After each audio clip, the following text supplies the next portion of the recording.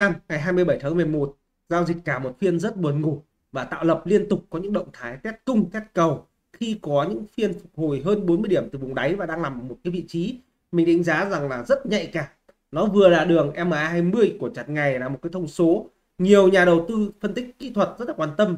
À, thứ hai là chúng ta nhìn thấy là nó đang ở một cái vùng cản rất lớn với điểm thấp nhất là khoảng 1236 và điểm cao nhất là đạt khoảng 1248 ở 10 điểm này thì chúng ta thấy có một cái địa điểm rất là tương đồng với một khu vực mà nhiều người đầu tư đang rất quan tâm rằng liệu nó có tích lũy khoảng vài phiên như khu vực hồi tháng 5 sau đó có một pha tăng lên 1.300 hay không, hay là nó sẽ rằng co ở đây khoảng gần 2 3 phiên. Và khi mà cái lực cầu đang rất là dè dặt, lực cung thì cũng đang là lăn tăn liệu thị trường có tiếp tục tăng để bán với cái giá tốt hơn hay không.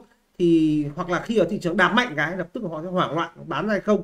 Thì đây là một cái động thái mình dùng từ là, gọi là, vùng rằng co và với cái vùng rằng co này thì mình nghĩ rằng là mọi phán đoán, kể cả mình đang ngồi ở đây, thì đều chỉ mang tính chất là 50 50 có nghĩa là nếu mà nhà đầu tư nào mở mua hoặc kể cả bán cắt lỗ ở vị trí này, thì xác định là cái vị thế rất 50 50 tuy nhiên là mình, chúng ta sẽ cùng nhau quan sát và điểm qua những cái tin hot của thị trường ngày hôm nay. Ví dụ như cái một thông tin của áp thuế VAT 5% cho phân bón. Nó có ảnh hưởng như nào đến ngành phân bón nói chung và nói riêng và đối với các nhóm ngành? Mà đang hưởng lợi từ cái chỉ số đô index, nó có thay đổi hay không thì chúng ta sẽ cùng nhau đi phân tích rất là ngắn trong video ngày hôm nay. Mình nghĩ hôm nay sẽ nói khá là ngắn gọn thôi. Thị trường thì đóng đến ở vị trí gần như tham chiếu. Rõ ràng rằng VN30 xanh nhiều hơn. Số mã xanh ít hơn số mã đỏ. Số mã đỏ này cũng ít nhiều hơn số mã xanh đây. Thanh khoản thì thấp này. Vậy mà chúng ta vẫn đóng đến được ở một cái đến gần như tham chiếu. VN30 còn xanh thì không cần xem. Chúng ta cũng biết rằng là điểm số đâu đó đến từ một số mã trụ đúng không? Và việc kéo trụ chắc chắn là xảy ra. Và mình điểm qua luôn điểm trụ hôm nay đến nhiều từ cổ phiếu à, uh, FPT đấy là một trong cố cổ phiếu. Và hôm nay mình nhìn thấy có một cái dấu hiệu khá là đáng ngại đối với nhóm ngành à, gọi là dùng nhóm ngành hưởng lợi từ việc đô la tăng. Thì mình nhìn thấy là chỉ số DXY hiện giờ tạm thời ngừng tăng. Đấy có dấu hiệu tạo đỉnh ngắn hạn. Mình nhắc lại dấu hiệu tạo đỉnh những đỉnh là đỉnh ngắn hạn. Và mới là dấu hiệu thôi. Thì mình nhìn nhận thấy là ngoại trừ uh, dòng đạn phân đạn thì có một cái thông tin là đó là áp thuế 5% đối phân bón thì nó đổ đèo rất là nhanh. Đấy, mặc dù tí nữa mình sẽ phân tích cái việc áp thuế này thực sự nó cũng không phải quá xấu đối với doanh nghiệp phân bón. Nhưng mà tin ra mà nó vận động như thế thì rõ ràng rằng có thể là cái phân tích này chưa chắc đã đúng mà nó có thể nó còn sai ở đâu đó. Có một cái gì đó nó theo hướng logic khác nữa. Chúng ta vẫn phải đầu tư trên thị trường đúng không? Thị trường luôn luôn đúng. Chúng ta suy luận chúng ta phân tích chúng ta đọc tin tức thì có thể đúng có thể sai nhưng thị trường và giá thì luôn luôn đúng. Có nghĩa rằng chúng ta nhìn thấy hôm nay à, cổ phiếu dòng phân đạm đến có một pha đổ đèo rất là mạnh đúng không? Đây là đạm phú mỹ và đạm cà mau à, đại diện cho hai trong số cổ phiếu và giảm gần mức 3 phần trăm. Và mình nhìn nhận thấy rằng là với việc suy giảm này một cái vôn rất là lớn thì rõ ràng dòng phân đạm là thực sự có vấn đề. Đấy. mặc dù rằng nhiều nhà đầu tư đã phân tích rằng là đối với cái việc cắt giảm VAT này áp thuế VAT đối với phân bón đấy thì đối với các công ty à, phân bón họ còn có lợi lượng khác. Lợi tại sao? Bởi vì họ bình thường họ mua phân à, mua nguyên liệu đầu vào họ trả nhân công họ xây nhà máy thì họ phải chịu cái thuế 10% từ nguyên liệu vào. Nhưng khi bán phân bón ra cho các công ty khác à, ví dụ như là thương lái cho nông dân thì họ lại bán ra với thuế VAT bằng không. Do đó thì chúng ta các công ty phân bón này họ không được hoàn thuế Đấy, 10% đầu vào này thì rõ đó là họ bị thiệt hại. Nhưng bây giờ áp thuế 5% thôi thì có nghĩa họ chịu thuế đầu vào 10% nhưng họ được hoàn lại 5% của thuế đầu ra. Đó điều đó thể hiện rằng là họ đang có lợi hơn. Thì nếu mà theo phát cái, cái cách phân tích của các chuyên gia như này thì chúng ta nghe thấy rất là hợp lý. Nhưng nếu mà hợp lý thì tại sao? Tại sao nó lại có một cái đến giảm mạnh đến như thế này? À, chúng ta nhìn thấy đề đạm cà mau đúng không? Khối lượng thì rất là lớn thôi gãy mà 20 cổ phiếu đạm phú mỹ thì thực sự hôm trước nó tăng rất là mạnh. Nên với cái đến giảm này thì thực sự là nó nó chưa chạm đến M20 nhưng chúng ta cần phải có những lưu ý khi mà những cổ phiếu này nó có những động thái rơi bù. Nó nhìn thấy khi mà có cái cây nến khối lượng rất là lớn đúng không? Bằng cái khối lượng phía trước đó đúng không? Sau đó nó bắt đầu nó đổ đèo. Và chúng ta nhìn thấy rằng là cây nến này gần như là đến bao phủ rồi đấy. Phủ định lại cái quá trình tăng trước đó. Chúng ta nhìn thấy có những cây nến kiểu kiểu như vậy. Ví dụ này đấy, chúng ta bắt buộc rằng là có thể phải đề phòng hơn. Nó chưa rơi thì sau này nó rơi bù. Mình nghĩ rằng là cái luật lận này của nhà đầu tư của các chuyên gia thì có thể là đang bỏ sót một yếu tố nào đó chúng ta. Nhưng chúng ta là những nhà đầu tư theo trường phái phân tích kỹ thuật nhiều hơn chúng ta bắt buộc phải đề phòng. Nhưng mà mình nghĩ rằng là cá nhân mình khuyến nghị là nếu ai có có lãi ấy, thì mình đã khuyến nghị chốt lãi luôn ở khu vực này. Đấy, nghĩa là đây rõ ràng không vượt được cái vùng cản chéo. Và bắt đầu rơi ngược trở lại thì chúng ta bắt buộc chốt lãi ở ngay vùng khoảng 35,6 còn đạm cà mau thì chúng ta bắt đầu khi mà không vượt được thì có thể chốt hòa hoặc 37,3 37, mấy đấy. Nghĩa là khi mà chúng ta thấy giai đoạn này rất là nhạy nhạy đúng không? Không ăn được là phải nhả ra ngay. Kể cả những cổ phiếu VOS này. Chúng ta nhìn thấy là vùng cản của nó rất là lớn ở giá 16 nhưng chúng ta thấy không ổn chúng ta bán luôn.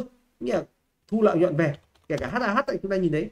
Mặc dù vẫn nhiều người kỳ vọng đến 50 rõ ràng rằng cái thanh khoản nó không còn cao nữa. Đỉnh sau mà thanh khoản thấp hơn thấp hơn đỉnh trước này. Đây là một dấu hiệu phân kỳ đỉnh cái này. Đấy, hai đỉnh này. Nhưng thanh khoản còn thấp hơn này. Chúng ta nhìn cái chỉ số ờ, này này. Hiện giờ nó chưa chưa tạo đủ một cái, cái phân kỳ. Đây là một nhóm ngành mà mình nghĩ rằng là cũng có được hưởng lợi từ đô la. Nhưng khi mà dấu hiệu ờ, các nhóm ngành đồng thời hưởng lợi từ đô la có vấn đề thì chúng ta phải để ý luôn kể cả những cổ phiếu khác đợt DKM à DGC này nó tăng giá rất là tốt sau đó bị cây đến mua ngược lại. LAF này đúng không? Thì tất cả những cái nhóm ngành hưởng lợi này khi mà có một trong số các cái uh, cổ phiếu đúng không? Ai có chắc là chốt lời luôn lát đi. Ví, ví dụ vậy. Đấy, chúng ta nhìn đấy. Chúng ta nhìn thấy rằng là có những cây nến mà khối lượng lớn úp ngược này thì mình nghĩ ai đang có hàng vẫn còn lãi canh mà hạ bớt tỷ trọng đi. Trước khi nó quá muộn nhá cây nến úp ngược này với khối lượng lớn là rõ ràng rủi ro. Đấy chúng ta nhìn thấy kể cả những cổ phiếu như là um, BFC ví dụ vậy. Đấy, hoặc là những cổ phiếu mà liên quan đến cảng biển này phân đạm hóa chất này là những nhóm cổ phiếu mà đang được hưởng lợi từ đô la tăng. Chúng ta nhìn thấy có thể đang báo hiệu trước một cái dấu hiệu gì đó có thể đô la Mỹ đang đang tạo đỉnh đang tạo đỉnh ở đây. Chưa gãy hẳn nhé nó chưa gãy M20 rõ ràng nó vẫn có thể co giật một vùng rất là dài. Và VN Index vẫn chịu cái tác động rất là lâu. Đấy chúng ta nhìn thấy. À, đâu à? Cái chỉ số chúng ta nhìn đấy là cái vùng này để gãy được thì mình nghĩ là còn khá lâu. Đấy, nhưng mà rõ ràng rằng là VN Index thì chắc chắn sẽ vẫn phải chịu những ảnh hưởng nhất định khi mà nó chưa gãy M20 thì mình nghĩ giai đoạn này chúng ta đánh gọi là theo trường phái lướt sóng lên cộng luôn chúng ta không nghe theo tin tức mà chúng ta hoàn toàn dựa vào vấn đề hoạt động theo giá. Khi mà những cái chỉ số chỉ báo ấy, thực sự nó nó cũng không phải quá xấu. Nếu cái nến ngày hôm nay mình nhận định rằng ở đây một cái nến gọi dùng từ test cung test cung ấy. các mẫu hình nến trong phía tây này. Đây cái nến test cung này. Trong một quá trình tăng này nó rung lắc này test cung thì sau đó có thể có một nhịp tăng mới. Ví dụ như vậy mình nghĩ rằng đây cái đến mình đánh giá là cung cầu đầu ít nghĩa là mang chất là phòng thủ. Mọi nhà đầu tư đang rất là thận trọng thôi nó chưa cho chúng ta thấy một cái xu thế rằng là có thể giảm. Nhưng mình nhìn thấy rằng là ở đây có một dấu hiệu ở trên bảo dưới không nghe ấy. đó là mình nhìn cái chat một giờ này. Thực sự là nó đã bắt xuất, xuất hiện một cái đỉnh rồi. Đấy. Bây giờ mà tăng thấp lên nữa thì sẽ không không dễ. Cái chat 30 phút chúng ta nhìn thấy này cũng đã tạo một cái dấu hiệu nghĩa đang có dấu hiệu tạo chiết biên. Thì nếu mà có pha tăng này rất dễ là bu chát. Khả năng bu chát rất là cao đối với pha tăng này. Ta đặc biệt lưu ý. Còn tất nhiên nhìn những cái đồ thị thấp hơn ta nhìn thấy rõ ràng chat 15 phút này thì nó đang ở vị trí thấp nhất mà rất là dễ để kéo lên. Nghĩa là từ chat 5 phút 15 phút thì đều phân kỳ và đang ở vị trí sát không. Nghĩa là những cái chat cấp độ thấp thì nghĩa là cho thấy một xu thế tăng ngắn hạn. Nghĩa gọi giống kiểu bull chat ấy, tăng một phiên thôi hoặc là nửa phiên một phiên xong có hai phiên. Thì hai cái, cái đồ thị này cho chúng ta thấy là có xu thế kéo tăng.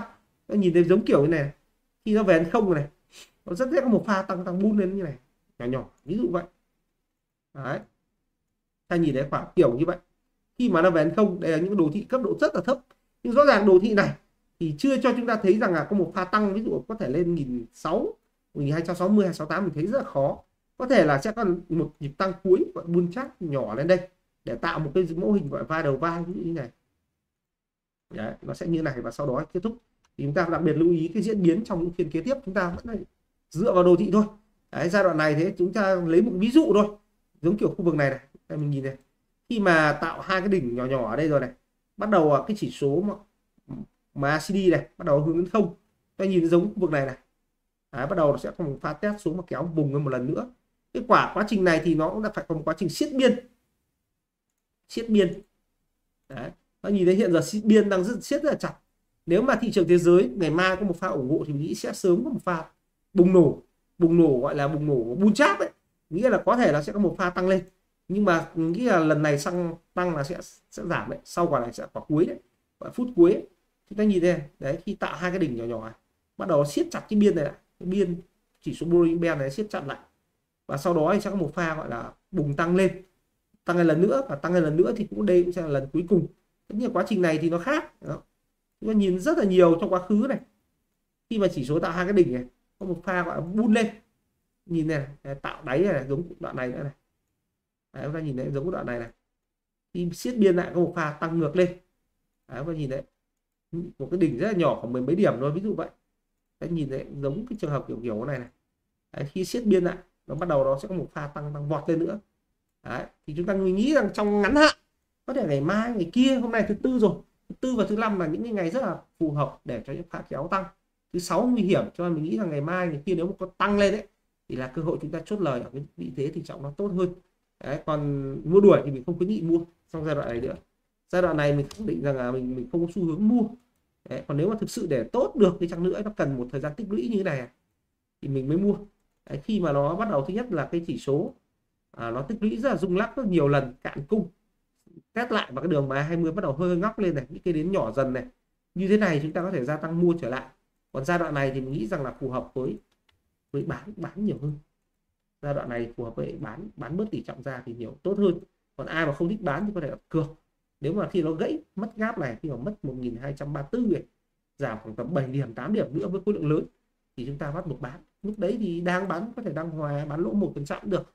Mình nghĩ là nếu mà chúng ta theo dõi thêm một cây đến nữa và đến đảo chiều như này là đây cũng đến đảo chiều này. À, đây cũng đến đảo chiều này. Ba cái đến xanh này đỏ này, xanh này. Đây đến đảo chiều nếu nó hình thành ngày mai thì cái đến đảo chiều bắt buộc chúng ta phải bán kể cả đang hòa về cổ phiếu tốt thì xấu cũng phải bán. Khi có mẫu hình đến đến đảo chiều, ba cũng đến này Đấy. một kia tăng này. Sau một cái đi ngang một cái đảo ngược này xuống này chúng ta bắt buộc phải bán. Đấy, kể cả những giai đoạn trước nó nhìn thấy, bây giờ mình cũng chưa có cái kết luận gì cả. Chúng ta vẫn phải theo dõi thị trường thôi. Đây là đến đảo chiều, một phiên tăng này, một phiên đi ngang, một phiên giảm. Đây đến đảo chiều này. Với thanh khoản tăng dần lên này. Đấy nghĩ chúng ta phải theo dõi thôi. Ngày mai nếu mà có một cụm đến đảo chiều, có nghĩa rằng ngày mai giảm trên 7 điểm với khối lượng tăng cao. Thì mình nghĩ rằng là thôi, kết thúc cho một nhịp hồi này. Chúng ta sẽ phải đợi đợi những giải ngân ở những vị trí thấp hơn. Đấy, còn bây giờ thì chưa đủ dữ liệu để chúng ta kết luận. Đấy. nhưng mà mình chỉ khẳng định là dạng này không phải an toàn để chúng ta mua. Mà bán thì tất nhiên chốt lời. Thì neo là sai, ai mà có lợi nhuận thì chốt thì mình nghĩ là không bao giờ sai cả. Đấy, nhưng mà để bán, để mua dạng này thì mình không khuyến nghị nhé. Đấy, chúng ta nhìn qua một số cái cổ phiếu như SSI nó như thế nó khá là giống cái hồi tháng ờ, 10 năm 2023 ấy. Đấy, sau khi mà phục hồi lên thì đã không giữ được cái đà tăng đầu co giật co giật luồn cúi dưới cái M20 giống với giai đoạn này Đấy. mình nghĩ có thể nó vẫn giảm sau tăng giảm răng nhưng mình nghĩ rằng là xu hướng nó rất là không được đẹp nữa. Dòng chứng khoán mình không thấy hào hứng nữa. Thế hôm trước mình có khuyến nghị nhà đầu tư nào mà có chứng khoán ấy, nên bán ở vùng mà 20 đấy, cổ phiếu này lên được gần gần sát cái kỳ vọng mình 34 đúng không? Đấy, mình nhìn đấy khi test ở đây rất là dễ nó rơi theo. Đấy, chúng ta nhìn đấy có, có chăng hụt lên lần nữa không lên được nhiều. Mình nghĩ rằng là họ là như kiểu này. Co giật co giật bò bò bò, bò đến một lúc nào đó mà nó gãy mà 20 ví dụ có thể nó lên được tầm 34,1 34,2 chẳng hạn ví dụ vậy kéo 23 trăm nữa. Nhưng chúng ta đừng có mua đuổi. Tốt nhất mình nghĩ rằng là dạng này không nên mua đuổi. Có thì chốt dần thôi. À, nó sẽ giống kiểu kiểu này.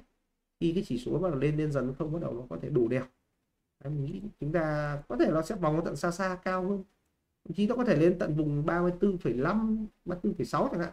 Tính cái thời điểm lại là tăng khoảng 3 phần trăm nữa không ít đâu. Nhưng mà chúng ta dạng này mua đuổi thì mình nghĩ khá rủi ro. Đấy kể cả những cổ phiếu bất động sản thế đó nó nhìn thấy luôn luôn cái độ dướn này nó đang yếu dần này. Đấy xu thế một đỉnh hai đỉnh ba đỉnh rồi. Kể cả của tê sát hôm trước mình bảo đấy lên đến 16 x là đá mua ở đây lên đây lướt cổ phiếu này thì nó rơi nhiều nó dư địa nó sẽ sẽ trụ ở lại tốt hơn nhưng mà những cổ phiếu như kiểu DG là mình thấy nó đang rủi ro. Nó đang đến đoạn dướn dướn rồi. Con này à, vẫn cố dướn dướn lên một tí bởi vì cái chỉ số này ở trên nó có thể lên cao thêm một chút thì nó có thể lên đến đoạn này đi ngang với phiên như này. Sau bắt đầu nó mới đổ đèo.